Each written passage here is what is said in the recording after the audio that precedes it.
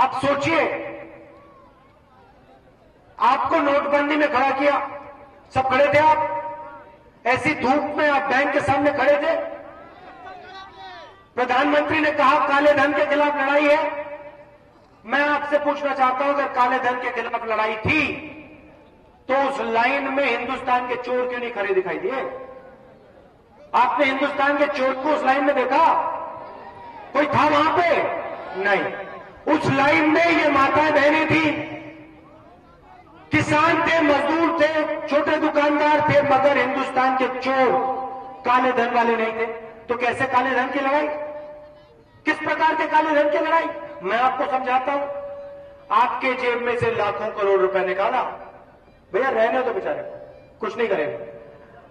आपके आपके बैंक से लाखों करोड़ रुपए निकाला और इन चोरों के बैंक अकाउंट में डाला। अब मैं आपको बताता हूँ, कांग्रेस पार्टी क्या करने जा रही है।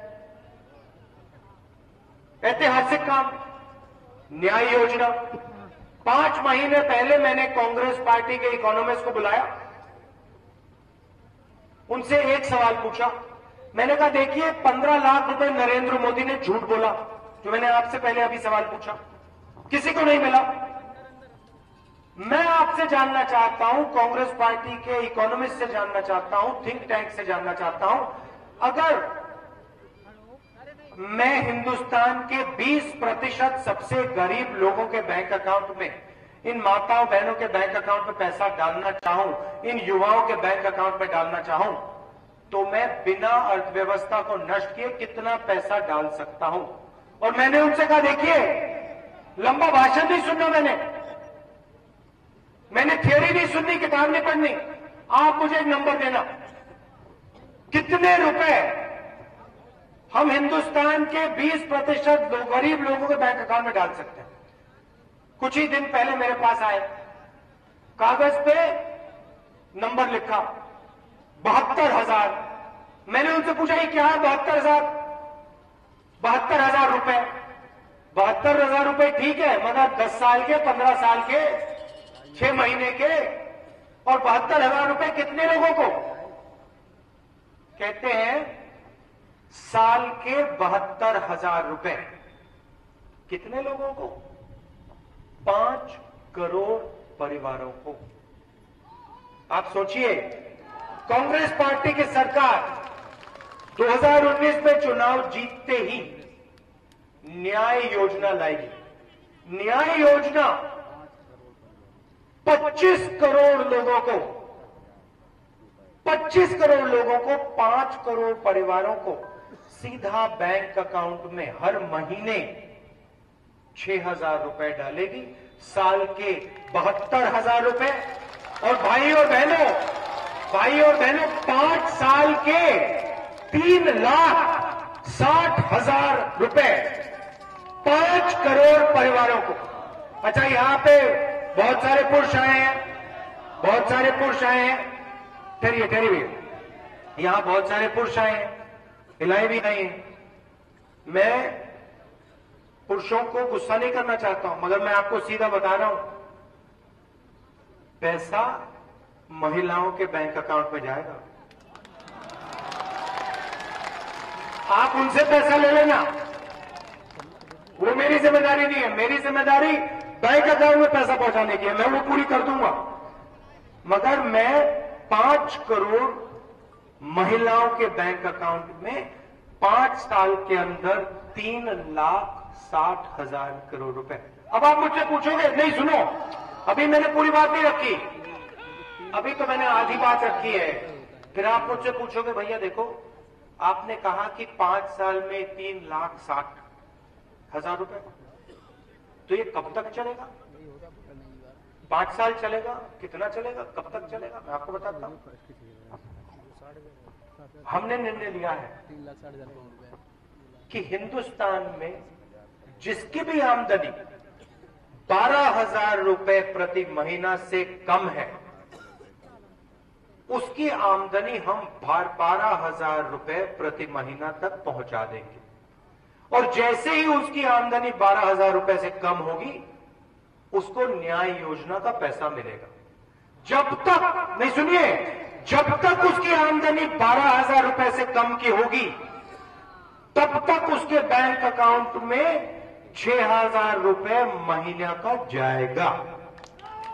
मतलब यह है यह है, गरीबी पर सर्जिकल स्ट्राइक बात समझ आई? गरीबी पर सर्जिकल स्ट्राइक एक झटका मारेंगे। न्याय योजना हिंदुस्तान से गरीबी को मिटा देगी। पिछले पाँच सालों, पिछले पाँच सालों, युवाओं, पिछले पाँच सालों, नरेंद्र मोदी जी ने, नरेंद्र मोदी ने गरीबों पर सर्जिकल स्ट्राइक किया है। हम गरीबी पे सर्जिकल स्ट्राइक करना चाहते हैं। अब यहाँ पर मुझे बहुत सारे युवा दिख रहे हैं। अब आप मुझे पूछोगे? आप मुझे पूछोगे, देखो, आपने बैंक अकाउंट पे पैसा डालने की बात की, मगर हमारे लिए सबसे ज़रूरी चीज़ रोज़गार है। सही बात? रोज़गार सबसे ज़रूरी। नरेंद्र मोदी ने रोज़गार नहीं दिया। अब मैं आपको बताता हूँ, आपके लिए। जब नरेंद्र मोदी जी ने नोटबंदी की, गब्बर सिंह टैक्स लागू किया तो आपके जेब में से उन्होंने पैसा निकाला। आपको याद होगा, आप बैंक गए। बैंक में आपने अपना पैसा रखा। नरेंद्र मोदी जी ने हिंदुस्तान की अर्थव्यवस्था से पैसा निकाला, अनिल अंबानी की जेब में डाला।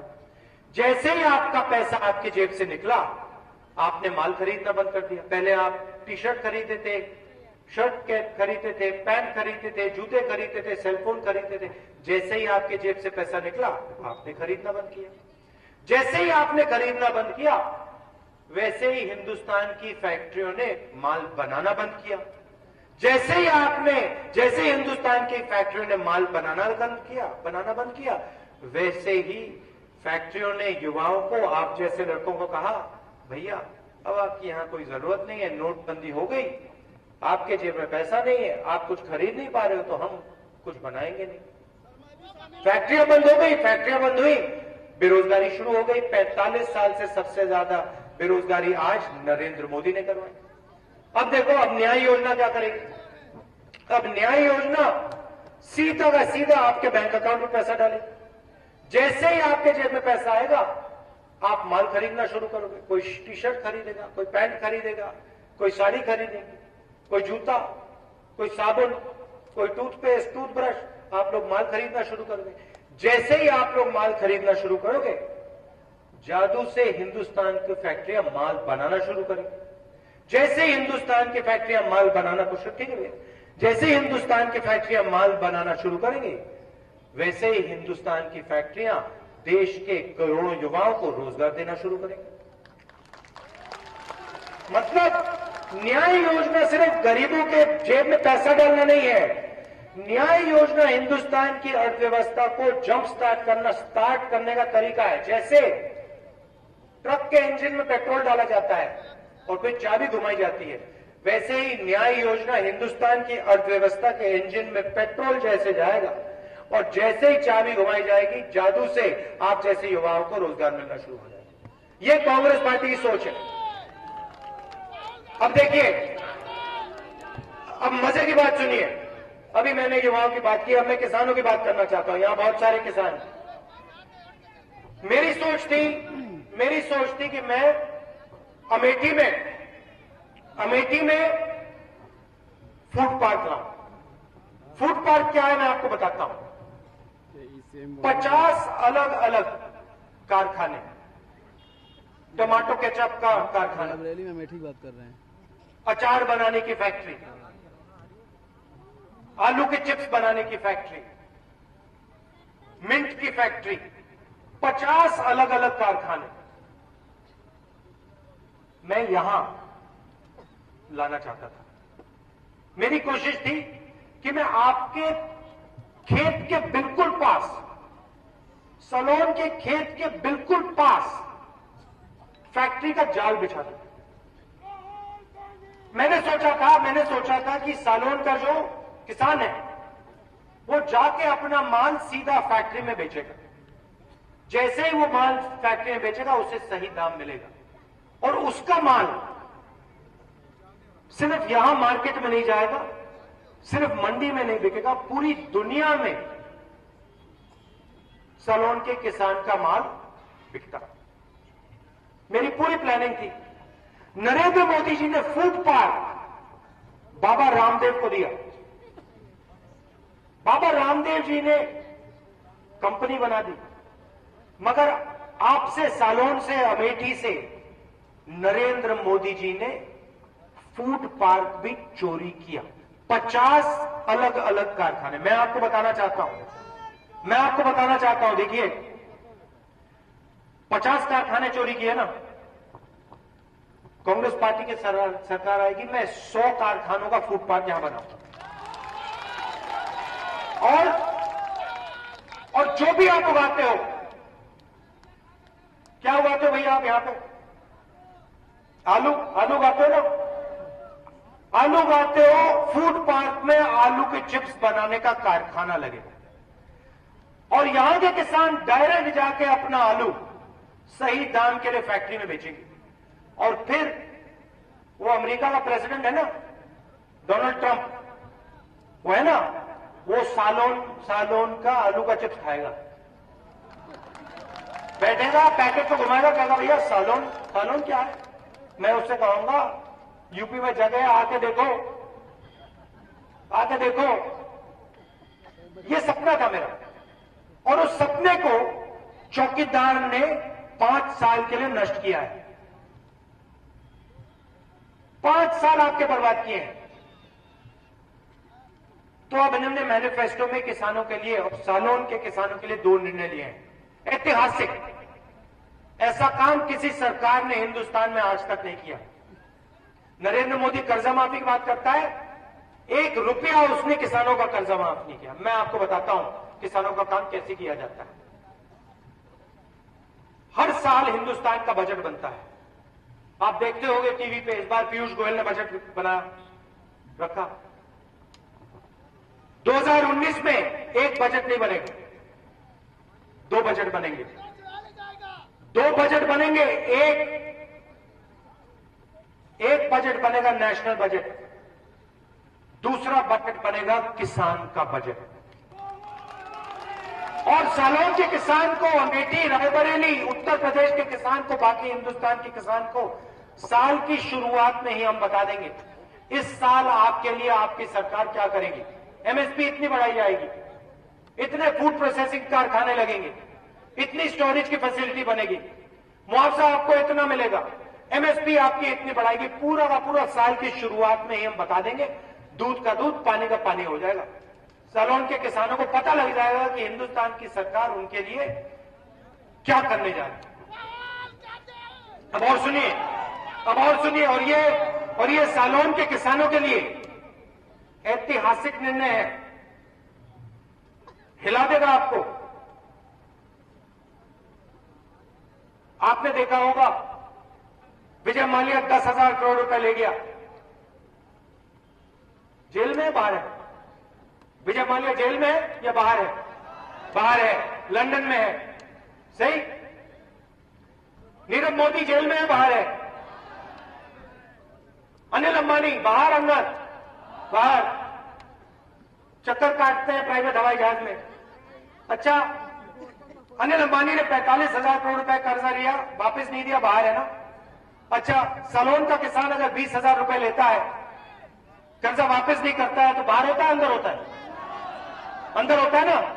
जेल जाता है। तो मैं आपको बताता हूँ 2019 में हमने निर्णय लिया है। जैसे चुनाव होगा, हमारी सरकार बनेगी। हिंदुस्तान का कोई भी किसान, सलोन का कोई भी किसान कर्जा ना लौटाने के लिए जेल में नहीं जा सकेगा। कर लो जो करना है। मुझे फ़र्क नहीं पड़ता, नरेंद्र मोदी।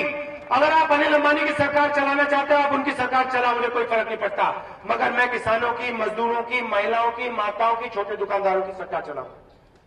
सीधी सी बात। और जो चौकीदार जी, जो आपने सलोन की जनता से चोरी किया अच्छा रेलवे लाइन किसने चोरी की आपसे? रोड रेलवे लाइन किस चौकीदार ने आपसे चोरी की? नाम क्या उसका? नरेंद्र मोदी। जो इस चौकीदार ने सलोन की जनता से चोरी किया, जो इस चौकीदार ने आपसे किया, मैं उसका दुगना दुगना आपके लिए करने वाला हूँ। और जो आपकी रेलवे लाइन है, जो आपने मांगी थी, जो हम जिसका पैसा हमने सैंक्शन किया, जो नरेंद्र मोदी जी ने आपसे छीना, मैं आपको गारंटी कर रहा हूँ स्टेट से, वो रेलवे लाइन बनेगी। और मैं यहाँ आपसे झूठ बोलने नहीं आया हूँ। मैं पंद्रह लाख का वायदा नहीं करने वाला हूँ। मैंने आपको कहा, तीन लाख साठ हज़ार रुपए दिए जा सकते हैं, मैं गारंटी करके देने वाला हूँ। मैंने आपसे कहा कि किसानों की मदद करेंगे, बजट बना के किसानों की मदद करेंगे, उनकी रक्षा करेंगे, किसान कर्जे के लिए जेल नहीं जा पाएगा, मैं करूँगा। मैंने आपसे कहा कि न्याय योजना से युवाओं को रोज़गार मिलेगा, मैं वो करके दिखाऊँगा। मगर मगर, न्याय योजना काफ़ी नहीं है। युवाओं को और देना है। मैं आपको यहाँ से एक और गारंटी देता हूँ। दो करोड़ युवाओं की बात नहीं करूँगा। मगर 22 लाख सरकारी नौकरियाँ हैं। 22 लाख सरकारी नौकरियाँ हैं, नरेंद्र मोदी ने खाली रखी हैं। क्यों? अनिल अंबानी की मदद करने के लिए। मेहुल चौकसी, नीरव मोदी की मदद करने के लिए। मैं आपको स्टेट से गारंटी करता हूँ 22 लाख नौकरियों को मैं एक साल के अंदर भर के आपको दिलवा दूँगा। अब वहाँ नहीं रुकूँगा डर जाओ। ये शुरुआत है। 10 लाख 10 लाख युवाओं को पंचायतों में रोज़गार दिया जा सकता है। 10 लाख युवाओं को कांग्रेस पार्टी पंचायतों में रोज़गार देगी। और जो हमारे, हमारी जो पुरानी मनरेगा की योजना थी, पहले सौ दिन देते थे ना, अब 150 दिन देंगे। आखिरी बात, मैंने महिलाओं से कहा कि आपको हम न्याय योजना का पैसा आपके बैंक अकाउंट में डालेंगे। मैं आपसे दो दो चीज़ और कहना चाहता हूँ। लोकसभा, विधानसभा राज्यसभाओं में महिलाओं के लिए 33 प्रतिशत रिजर्वेशन हम करके दिखाएँगे। आपके चेहरे हम विधानसभा, राज्यसभा, लोकसभा में देखना चाहते हैं। आखिरी बात महिलाओं के लिए, हिंदुस्तान की सरकार में 33 परसेंट रिजर्वेशन सरकारी नौकरियों में हम महिलाओं को देने जा रहे हैं। तो यह हम आपके लिए करना चाहते हैं। सलोन की जनता से कहना चाहता हूँ, आपके साथ, देखिए, देश के साथ अन्याय हुआ है। किसानों के साथ अन्याय हुआ, उनका कर्जा माफ़ नहीं हुआ। युवाओं के साथ अन्याय हुआ, उनको रोज़गार नहीं मिला। 45 साल से सबसे ज़्यादा बेरोजगारी आज, सत्ताईस हज़ार युवा 24 घंटे में हिंदुस्तान में रोज़गार खोते हैं, नरेंद्र मोदी की देन। मगर सलोन के साथ भी अन्याय हुआ है। सलोन के साथ नरेंद्र मोदी जी ने, सिर्फ़ सलोन नहीं, सलोन अमेठी रायबरेली के साथ इस चौकीदार ने अन्याय किया। है जो आपका था, आपसे छीना। फ़ूड पार्क आपसे छीना, चोरी। रेलवे लाइन आपसे छीनी, चोरी। स्कूल छीना, चोरी। ट्रिपल आईटी आपसे छीनी, चोरी। तो सबसे ज़्यादा चोरी इस चौकीदार ने अमेठी की जनता से की है। और अमेठी की जनता को कांग्रेस पार्टी की सरकार सिर्फ़ न्याय नहीं देगी, सिर्फ़ न्याय योजना नहीं देगी, सिर्फ़ किसानों की मदद नहीं करेगी, मगर सेपरेट अलहदा। सालौन की जनता, तिलोई की जनता, बाकी अमेठी, रायबरेली की जनता की डायरेक्ट मदद करेगी। ये मेरी गारंटी है। भाई और बहनों, आप मत भूलिए, आप मत भूलिए कि पाँच साल पहले ये चौकीदार यहाँ आया था। और इस चौकीदार ने आप सबसे वायदा किया था। आप सबसे इसने कहा था कि मैं दो करोड़ युवाओं को रोज़गार दूँगा। आप सबसे इस चौकीदार ने कहा था कि पंद्रह लाख रुपए बैंक अकाउंट में डालूँगा। आप सबसे इस चौकीदार ने कहा था, किसानों का मैं कर्जा माफ़ करूँगा।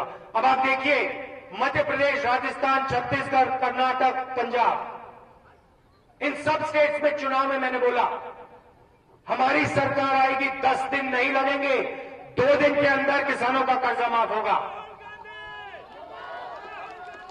देखिए, दस दिन का वायदा किया था, दो दिन में मैंने करके दिखा दिया। मध्य प्रदेश, छत्तीसगढ़, राजस्थान में दो दिन के अंदर सबके सब किसानों का कर्जा माफ़ हो गया। तो आप आप याद रखिए कि इस चौकीदार ने यहाँ इस ज़मीन पर आकर आपसे झूठ बोला। अभी अगर वापस आएँगे,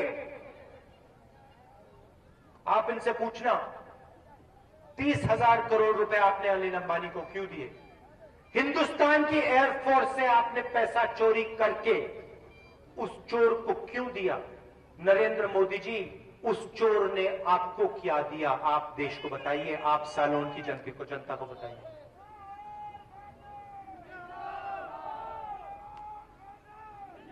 चौकीदार। भैया देखिए, सलोन की जनता है, ज़ोर से बोलिए, चौकीदार। चौकीदार। चौकीदार। आप सबका बहुत बहुत धन्यवाद। गर्मी में आए मेरी बात सुनने। इतना प्यार आप मुझे देते हो। धन्यवाद, नमस्कार, जय हिंद।